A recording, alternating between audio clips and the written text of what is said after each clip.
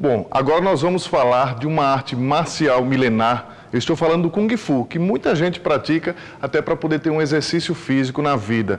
E os benefícios você confere com a gente a partir de agora.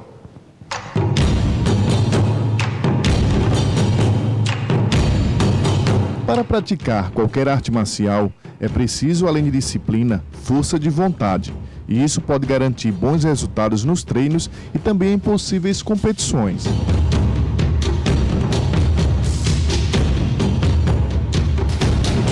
Para esta turma, duas vezes por semana, os treinos são assim.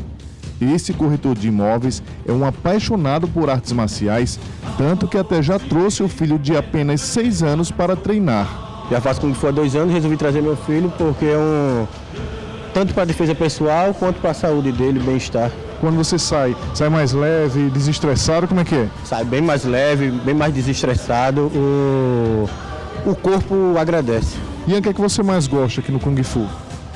Defesa pessoais. O Kung Fu é uma arte milenar chinesa. Nasceu da necessidade de sobrevivência dos antepassados na luta contra animais ferozes e contra inimigos.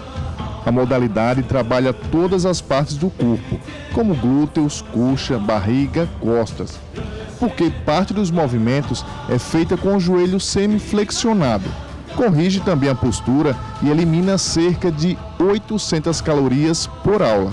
Vários benefícios é, são adaptados à necessidade de cada aluno. Por exemplo, se o, se o aluno quer perder medidas, perder peso, o treino aeróbico do Kung Fu vai fazer com que ele perca medidas, condicione fisicamente. Se o aluno quer treinar para um campeonato, para uma competição, através do Kung Fu nós temos o boxe chinês ou até preparação para eventos profissionais como MMA, por exemplo. Além de benefícios físicos, benefícios de concentração, o aluno sempre vai bem no colégio quando tem um treinamento que mantém a disciplina, ele dorme melhor, então ele acorda melhor, mais disposto. Então, benefícios são inúmeros e diversos. O Kung Fu é uma arte marcial completa e que pode ser praticada por pessoas de todas as idades e sexo. Prova disso são essas duas estudantes, que entre vários homens fazem bonito. Eu sempre quis é, praticar alguma luta, algum tipo de luta. Aí, influência dos meus primos, aí vem também. Ele trabalha o corpo e trabalha a mente, é o mais completo possível. Então, me sinto muito bem. As pessoas daqui também fazem com que você se sinta bem, o professor. E pode não parecer só estamos eu e ela aqui, mas tem muitas meninas também que fazem. Isso é a beleza do Kung Fu. Bruce Lee, que era filósofo, disse uma frase certa vez: Seja como água, adapte-se às suas condições. A gente pode exigir do aluno mais jovem um treino com mais energia. Tem alunos aqui que são idosos, 50, 60 anos, que fazem treinamento também junto com os outros, mantém a sua saúde, agora na sua medida de intensidade, nada que exige demais de modo que cause alguma lesão. Ítalo, há cinco anos, pratica o Kung Fu. Sempre quis fazer uma arte marcial, né? Desde o começo, fui apaixonado pelos esportes. E foi uma apresentação que teve lá no, no Sesc Poço, teve várias artes marciais. Mas a apresentação do Kung Fu foi que me pegou assim mesmo, me apaixonei e até hoje estou treinando Kung Fu. As armas de hoje do Kung Fu eram usadas como utensílios agrícolas lá na Ásia, mas em épocas de guerra, esses objetos se transformavam em armas de defesa pessoal. Não ensinamos defesa pessoal com bastões. São bastões são coisas simples de se encontrar. Até um cabo de vassoura acaba virando um bastão. E você pode, às vezes, em uma situação que você precisa defender sua própria vida, utilizar de uma arma que até pouca gente saberia usar e se defender. Mas a defesa pessoal, basicamente, nós utilizamos defesa com arma com mão livre. Né? O, as os treinamentos com armas hoje em dia são feitos mais para demonstração, para a parte artística e para a parte de graduação também.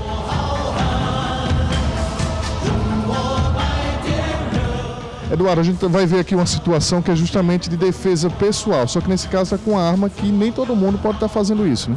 Na verdade, ninguém deve estar fazendo isso. Nós temos defesa pessoal na academia, como eu sempre friso, para defesa da própria vida. Em uma situação limite, você vai perder a própria vida, é hora de agir assalto, leva seu carro, o carro tem seguro, leva seu relógio, seu tênis, nunca se deve reagir, nunca há nenhuma tentativa de assalto, mas em uma situação de ameaça à integridade física, à vida, é importante saber se defender, tanto para homens quanto para mulher. Acontece casos, por exemplo, de estupro, que a mulher poderia se defender se soubesse, tivesse alguma noção, porque é uma coisa que acaba com a vida da pessoa, um trauma que nunca mais sai. Vai demonstrar aqui com os alunos uma defesa limítrofe para a defesa da própria vida em reação a um ataque de arma de fogo. Posição, por favor. Primeira situação é essa que o oponente está demonstrando. Ele não demonstra nenhuma reação, ele mostra que está entregue. Então, o primeiro passo é apreender a arma com a mão esquerda e sair da linha de tiro, de modo que impede qualquer reação do atacante. Segundo movimento é um golpe ao nível do punho para que solte a arma e a arma fique de poder agora de quem foi atacado. Com a arma dominada, você pode dominar o atacante e, de preferência, fugir. Muita gente não sabe, mas existem vários tipos de Kung Fu no mundo. Observando aqui os alunos, nós temos ali aluno faixa amarela. O faixa amarela equivale ao faixa branca em outras artes marciais. Seguido do faixa amarela, nós temos o faixa laranja, que é a primeira graduação com mérito. Seguido depois da faixa verde. Em seguida, a faixa marrom. Azul, a penúltima faixa antes da graduação do professor, e a faixa vermelha. Não temos nenhum aluno aqui no momento. Em seguida da vermelha, a faixa preta. Os benefícios do Kung Fu, além de serem voltados para a saúde física, também são para a saúde mental do praticante. Aqui se aprende filosofias de vida e lições de humildade, honestidade e crescimento pessoal, além de melhorar o senso de percepção e equilíbrio, amplia a atenção, reflexos rápidos e precisos e também a coordenação motora.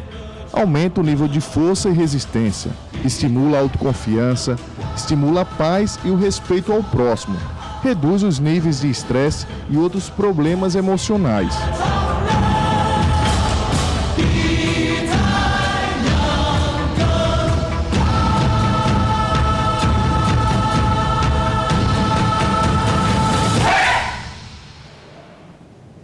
Vendo aí o Fernando, né, que coloca aqui, usa o microfone nos nossos entrevistados, disse que para praticar o Kung Fu, geralmente é quando ele assiste o Kung Fu Panda, foi isso, Denil? Para você ver, mas cê, vocês viram que o Kung Fu traz vários benefícios para a saúde, para a mente, fique rindo aí, né?